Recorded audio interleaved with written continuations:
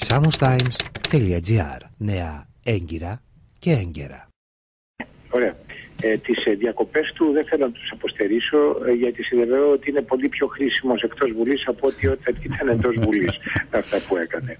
Αλλά από την άλλη πλευρά είναι σαφές ότι αυτό που έλεγαν οι εξάρτητοι Έλληνες και υπάρχει στην τριπτική τους ε, διακήρυξη θα γίνει πραγματικότητα. Εμείς θα κυνηγήσουμε όλους εκείνους οι οποίοι είτε είχαν βάλει παλιότερα το χέρι στο μέλι όπως παράδειγμα ο Χατζόπουλος που δεν είναι μόνον έτσι, έχει ζητήσει να, να λογοδοτήσουν και όλοι του Κισέα της εποχής εκείνης. Ναι, σωστό. Ε, δεν καταλαβαίνω γιατί καθυστερούν αυτέ τις διαδικασίες. Δηλαδή, ο κύριος Σιμίτης γιατί βγαίνει απ' έξω, δεν ήταν πρωθυπουργός τότε. Παράδειγμα λέω.